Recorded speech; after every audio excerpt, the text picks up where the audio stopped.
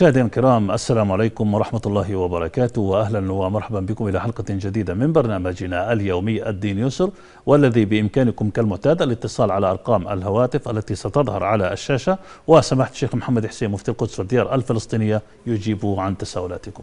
السلام عليكم سماحة الشيخ. عليكم السلام ورحمة الله وبركاته. حياك الله. آه، سماحة الشيخ بالأمس كنا آه، وعدنا أن نتحدث عن القروض والبنوك ولكن هناك قضية ملحة نعم. آه، أحب أن أبتدئ بها. سماحة الشيخ ما هي مفهوم الحرية الشخصية؟ لأنه كثير من الناس يعني عندما يجاهر بالإفطار أو يفطر في شهر رمضان يدخلها في باب الحرية الشخصية. ما هو مفهوم الحرية الشخصية في في الفكر الإسلامي. تفضل سماحة. بسم الله الرحمن الرحيم. الحمد لله رب العالمين وصلى الله على سيدنا محمد وعلى آله وأصحابه أجمعين وبعد. يعني مسألة الحرية ما في شك يعني إذا أخذنا من قول سيدنا عمر رضي الله عنه كيف استعبدتم الناس وقد ولد- ولدتهم أمهاتهم أحرارا؟ نعم. ومعروف من حقوق الإنسان حرية القول وحريته الشخصية. كل هذه معروف منصوص عليها بالشريعة. ومنصوص عليها أيضا بالقوانين والأعراف الوضعية والدولية. نعم. لكن للحرية أيضا حدود. يعني لا يعني أن الحرية الشخصية أن تفعل ما بدا لك. نعم. بحيث يخرج حتى ليس عن مدار الحرية فقط بمعناها الذي يفهم الناس إنما يخرج على مدار الأخلاق العامة. ويصبح هذا منافي للأخلاق العامة ومنافي للعرف بنفس الشيء. يعني خلينا نقول اللبس أن تلبس بنطلون أو تلبس دشداش أو تلبس عباءة حرية لك أن تلبس. لكن أن تخرج في الشارع عاري. يعني اليوم لو شافوا واحد فقط بالملابس الداخلية ماذا يقول الناس عنه؟ نعم. يا رأسا يقولوا جن هذا الزلمة مجنون. وهو مش مجنون عاقل. نعم. لكن حقيقة لأنه خدش العرف واعتدى على حرية الآخرين واعتدى على الآداب العامة واعتدى على السلوكيات واعتدى واعتدى. رأسا ينعتوه بالجنون. نعم. فبالتالي يجب على الإنسان أن يراعي مع الحرية التي هو يريدها لنفسه ونحن مع الحرية صحيح لكن مع الحرية المنضبطة الحرية بقيود تبدأ حريتك آه، عندما تنتهي حريتك عندما تبدأ حرية الآخرين وبالتالي لابد من مراعاة مثل هذه الأمور. لو ضربنا مثال على ذلك في رمضان الناس يلتزموا الصيام فريضة عبادة. هو أعلى من قضية حق هو حق وعبادة. وبالتالي أنت حينما تجاهر هذه المجاهرة واللي قال عنها النبي عليه السلام أشد الناس يعني المجاهرون لماذا؟ لأنه حقيقة ينتهك الحريات وينتهك الآداب وينتهك الأخلاق وينتهك كل هذا. وبالتالي مفطر هو أحد أمرين إما أن يكون مبتلى مريض وهذا صاحب عذر ولكن إذا بليتم فاستتروا. وقد يكون خارج عن نطاق الالتزام الديني وهذا أيضا يجب أن يراعي شعور الآخرين وحريات الآخرين فيدب حاله في بيته. نعم. سماحة الشيخ يعني هناك خلط ما بين يعني قضية الحرية في الاعتقاد يعني بعض الناس يخلط في هذه القضية في الاعتقاد فمن شاء فليؤمن ومن شاء فليكفر ولكم دينكم ولي دين. وآيات كثيرة تتحدث عن الاعتقاد هذا لكن مش أنت مسلم وبتصير تعمل عمل ينافي الإسلام. نعم. هذا من حيث المبدأ في الأساس يعني كيف؟ إنسان مسيحي.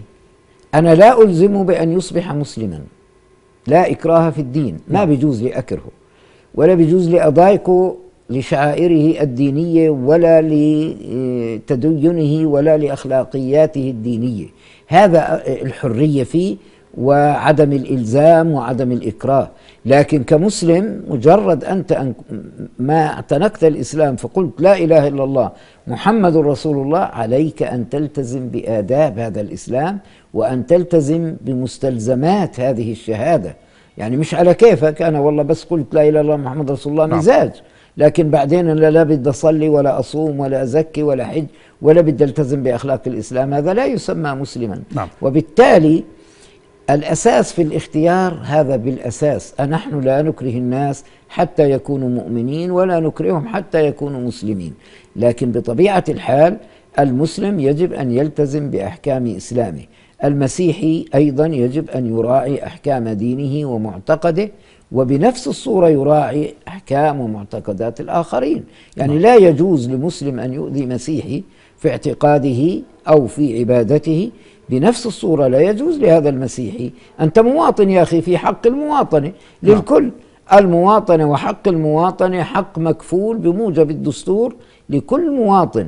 يعني له الحق أن يكون في هذا الوطن وله الحق أن يمارس كل حقوقه الدستورية والاجتماعية والأخلاقية.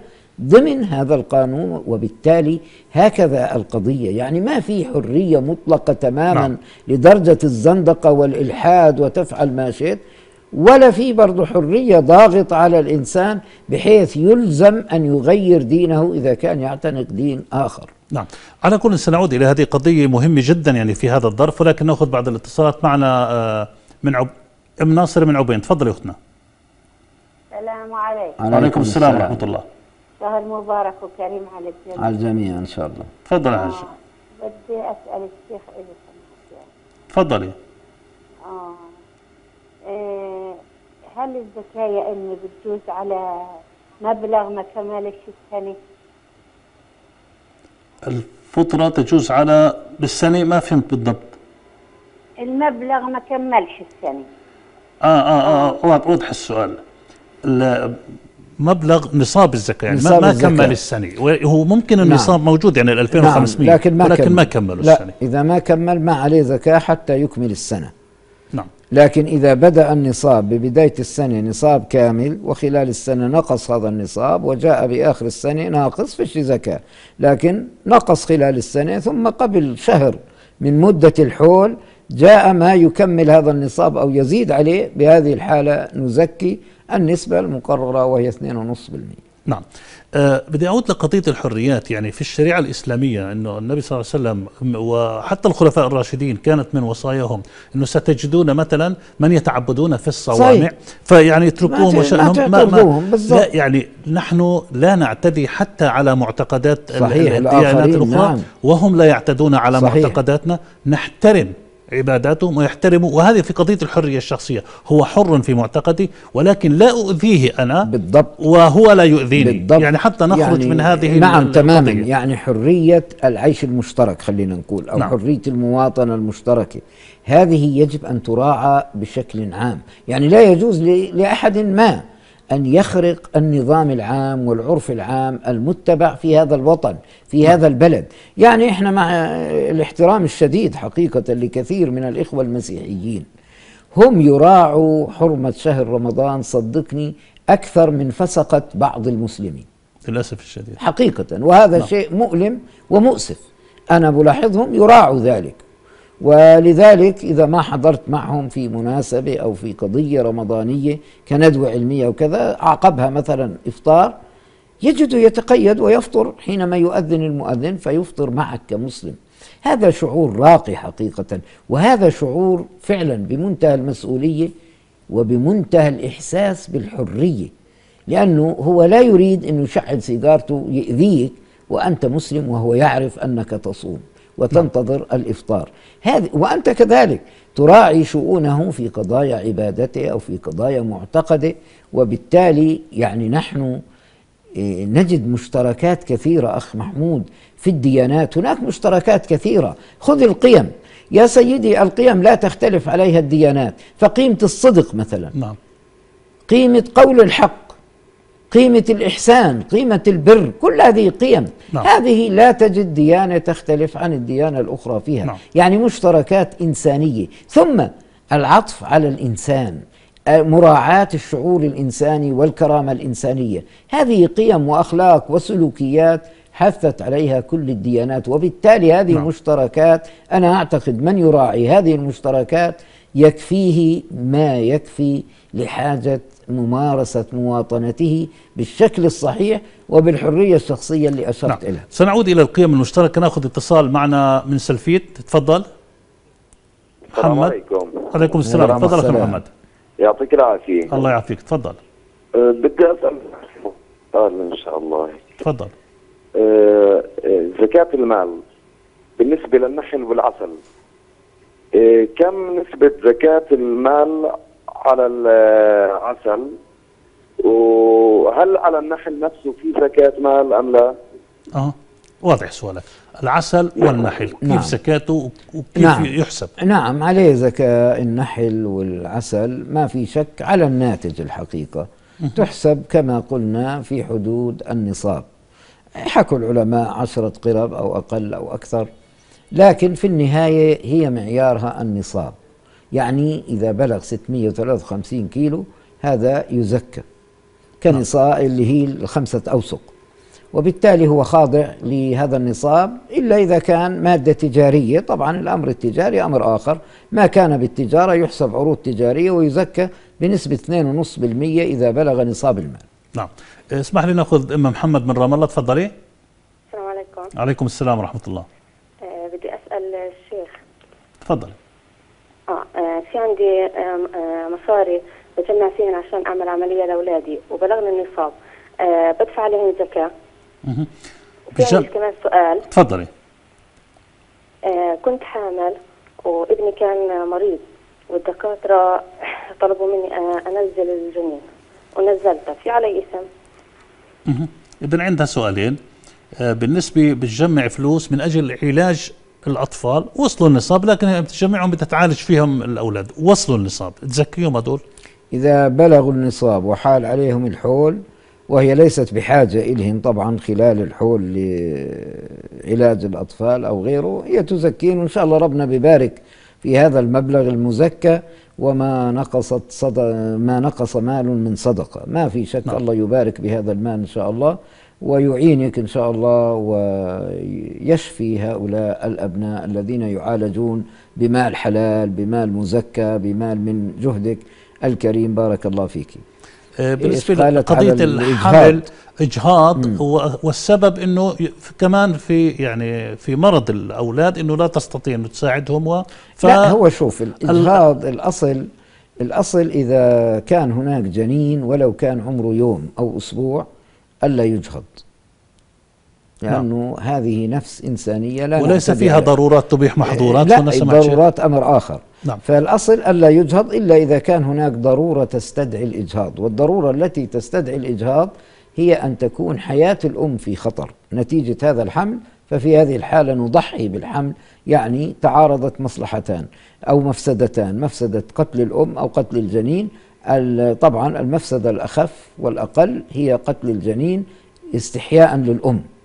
أما غير هكذا أسباب لا يصير إلا إذا في بعض الحالات إذا ثبت بالت- بالتشريح الطبي يعني والفحوصات الطبية الدقيقة ومن أطباء موثوقين تماما بأن هذا الجنين تستحيل حياته. يعني هو موجود ببطن أمه ولكن تستحيل حياته ففي هذه الحالة يجهض هذا الجنين خشية طبعا مضاعفاته وكون حياته مستحيلة وهذا لا يكون إلا بلجان طبية موثوقة ومتخصصة. نعم. اسمح لي ناخذ محمد من خان يونس. تفضل. السلام عليكم. وعليكم السلام ورحمة الله. كل عام وأنتم بخير. وانت بالف خير يا رب. أه، بدي أسألك أو أسأل فضيلة الشيخ بخصوص المرابحة. المرابحات بديت حد... أه، بديت حديثك في البداية بخصوص القروض والمرابحات. نعم. فبدي أسأل فضيلة الشيخ عن رأي الإسلام في المرابحات الإسلامية نعم. عن طريق البنوك الإسلامية نعم.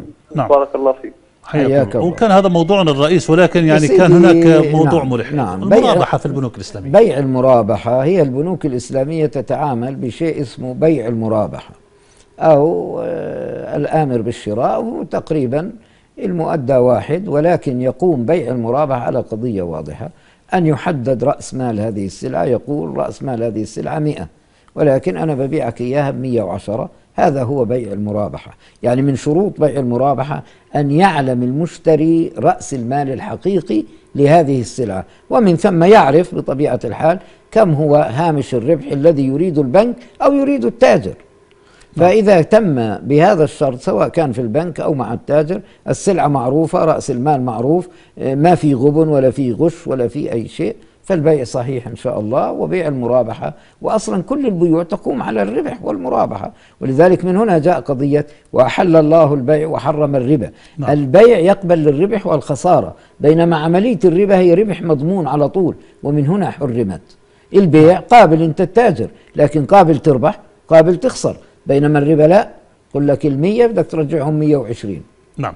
على كل هذا موضوع يعني راح نأخذه بالتفصيل ولكن بدي أرجع على قضية ال- الحريات.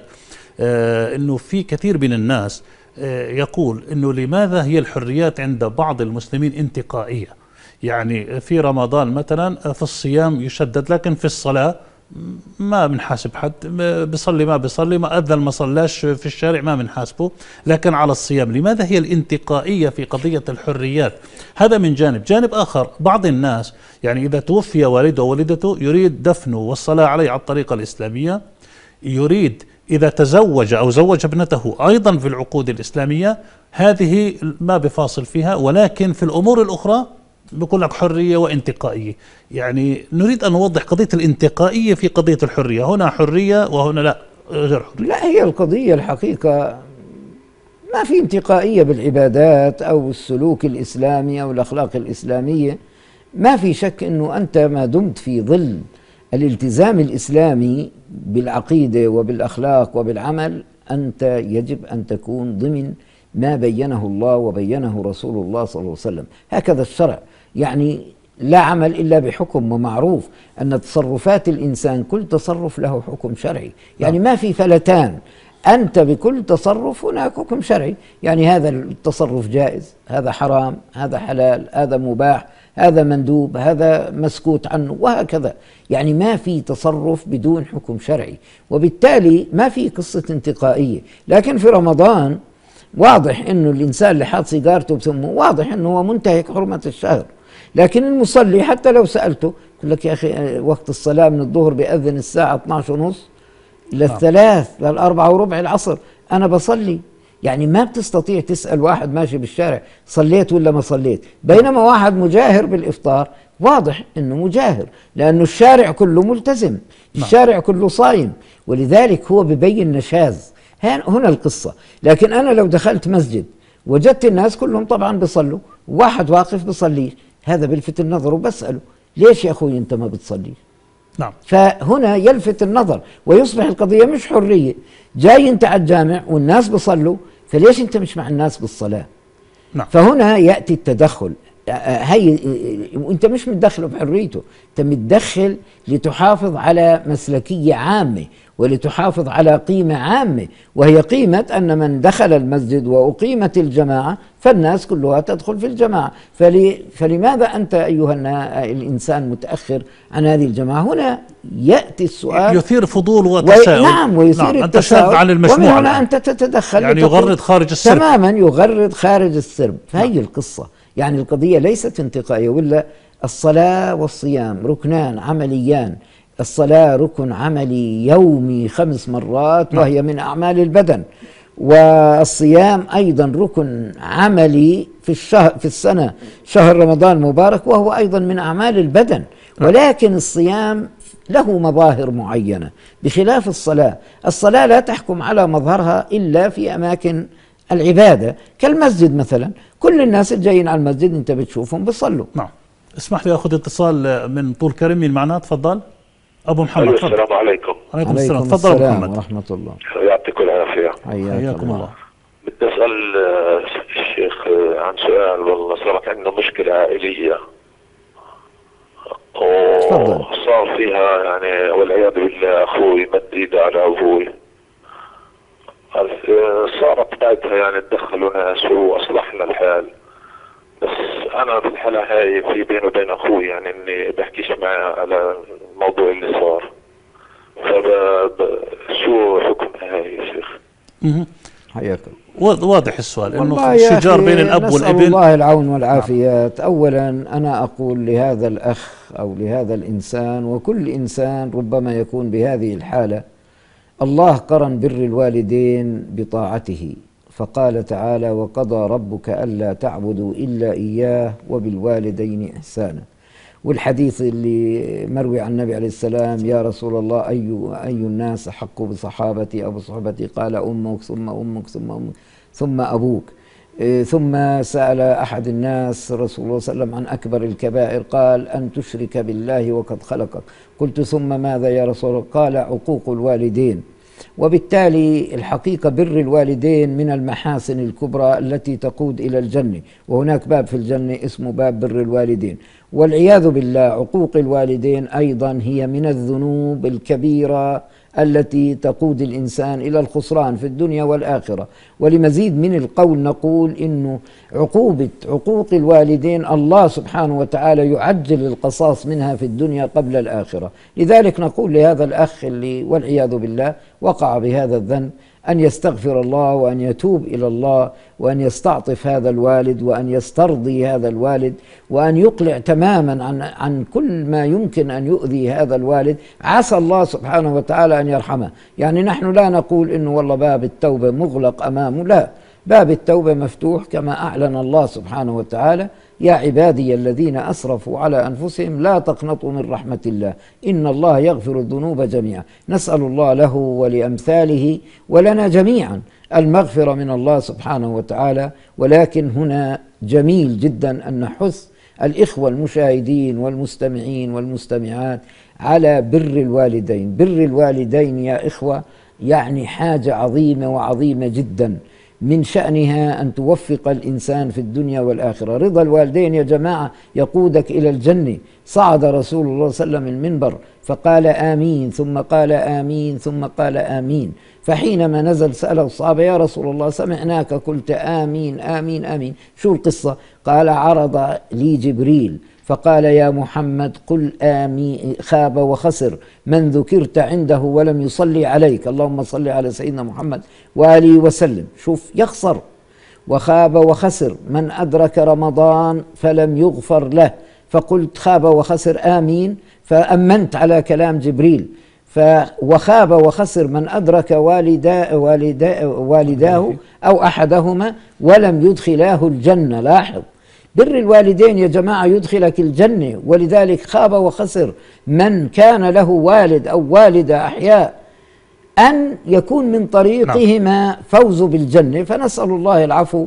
وهذا رمضان المبارك شهر الخير وشهر البركة. ونحن الآن في الأيام العشر الأواخر من أيام العتق من النار. فليحرص كل واحد منا أن يعتق رقبته من النار. وكيف يمكن أن يعتق هذه الرقبة؟ يعتقها ببر الوالدين وبر أصحابهما وبر أرحامهما. ويعتق نفسه بالالتزام برمضان وعبادات رمضان وصيام رمضان وقيام نعم. رمضان ويعتق نفسه إن شاء الله كذلك نعم. بالصلاة على النبي صلى الله عليه وسلم. نعم. هو سمعت شيخ في شق ثاني في السؤال وأعتقد هو الأهم اللي بده إياه ولكن خلينا نأخذ أبو وائل ونرجع للسؤال. آه، معنا اتصل أبو وائل تفضل. السلام عليكم. عليكم السلام ورحمة الله. والله إذا سمحت في عندي ولد توجيهي بقدم في توجيهي. نعم. هسه هو محوش بحدود 12 ألف شيكل من إخوته ومن هون ومن هون وعنده عامل زي كشك صغير ببيع لأخوته بجيب مواد تموينية ببيع. المهم بحوش من مصروفه هون وموجه على جامعة هل يجوز إنه يطلع عليه؟ مش هل يعني أو بحق إنه يطلع عليهم زكاة هذول وهو طالب توجيه واضح واضح واضح إن شاء الله تسمع الإجابة لكن بدي أعود لأخونا كان عنده سؤال هو إنه اصطلحوا. حسب الوالد نعم. ولكن القضية أنه هو الأخ ما زال هو نفسه يعني حامل على أخوه آه نتيجة هذا العمل. سؤاله أنه أنا الآن ما بحكي مع أخوي على أثر تلك الحادثة. لا أنا لا. آثم هذا لا السؤال. لا. يصلح أخوه يصطلح معه. لعله هذا الصلح يقود الأخ آه، طبعا إلى الندم. هو بالتأكيد الآن نادم لأنه يعني الخطأ بحق الأبوين مش شيء هين. ولذلك يعني نحن لا نعين على معصيته بل نعين على الطاعة إن شاء الله. فما دام اصطلح مع الوالد فليكن الصلح مع الجميع وأن تكون إن شاء الله المودة بين كل هذه الأسرة. نعم. نعود إلى الطالب اللي يعني بيجمع قرش على قرش على حسب يا سيدي يعني هو حسب ما قال المبلغ 12000 حتى يعني لسه ما وصل ما صاروا نصاب. نعم. فإذا صاروا نصاب وحال عليهم الحول يعني بعد ما يصيروا 12500 حسب تقديرنا إحنا قلنا 2500 دينار. نعم. وحال الحول عليهن بزكي. فهو ربما عنده التوجيه الآن وعنده 12000 أو 10000 لم يصل النصاب. فإذا ذهب إلى الجامعة بالتأكيد سيدفع من هذه من هذا المبلغ. راح يروحوا كلهم. رسوم وكذا وربما يروح من كل المبلغ. وبالتالي هو ما عليه زكاة ما دام لم يبلغ نصاب ولم يصل إلى العام يعني لم ينتهي العام عليه. نعم. آه، سمحت شيخ ما بعرف يمكن معنا جزء بسيط من الوقت. أريد أن نتحدث كنا نتحدث عن الحرية الشخصية. كيف ال- الإصلاح؟ يعني إذا أردت أن أصلح إنسان كمان هذه قضية مهمة. يعني أحيانا نعم، صحيح، التشهير في صحيح. الإنسان. لا، طبعاً. إصلاح الخطأ لابد له من من قواعد شرعية. تفضل يا سيدي. ما في شك أنه إصلاح الخطأ مهم وبالتالي إذا كان الله سبحانه وتعالى أرسل سيدنا موسى عليه السلام وسيدنا هارون إلى فرعون وفرعون معروف نعم. قال أنا ربكم الأعلى وقال إنه طغى ربنا وصف نعم. قال اذهبا إلى فرعون فقولا له قولا لينا نعم. لعله يذكر أو يخشى فما في شك طريقة مهمة جدا في قضية النصيحة وإلا بتكون فضيحة يا أخي نعم. النصيحة يجب أن تكون بطريقة أخلاقية بطريقة مؤدبة بينك وبين اللي بتنصحه نعم. مش بين وفي مجتمع استنى يا فلان أنا لحط عليك كيت كيت. هذا صار تشهير. وبالتالي أنا بعتقد هناك أسلوب في القول أسلوب في اختيار الزمان والمكان في أسلوب الطريقة التي توصل بها أنت هذه النصيحة لهذا الإنسان حتى ترده. عن الخطأ أو الشيء الذي يرتكبه وبالتالي لابد في الإصلاح أن يكون بالطريقة المناسبة وفي الوقت المناسب وفي الزمان المناسب. مش والله تيجي لواحد وهو بيغلي وبيفور م- نتيجة حادث معين تقول له يا زلمة اسكت انسى مش هيك الإشي؟ لا. يا أخي هون عليك. نعم. النبي عليه السلام قال إن لا تغضب.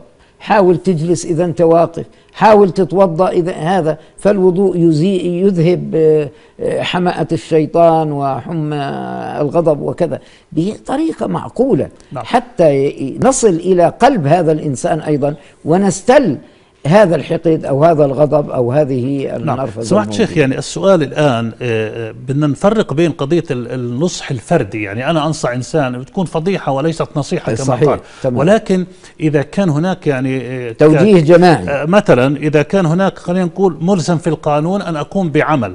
ممكن ما أستطيع أن أضبطها كقضية فضيحة مثلا كاعتقال إنسان أو أخذ إنسان لسبب إنه قتل أو لا، هذا- انتهك هذا مش هون. صارت. لا، لأنه هناك بعض الناس لا فهمها لا، إنه لا، هذه- ممكن تصلح لا. بطريقة أفضل لا ليست هكذا قضية الصلاح والإصلاح نعم. لا هنا هناك مجرم ارتكب جريمة فيجب أن يعتقل هذا المجرم ويحاسب على جريمته أمام القضاء نعم أنا بعتقل المجرم لكن مش مطلوب مني أضرب هذا المجرم ضرب مبرح نعم.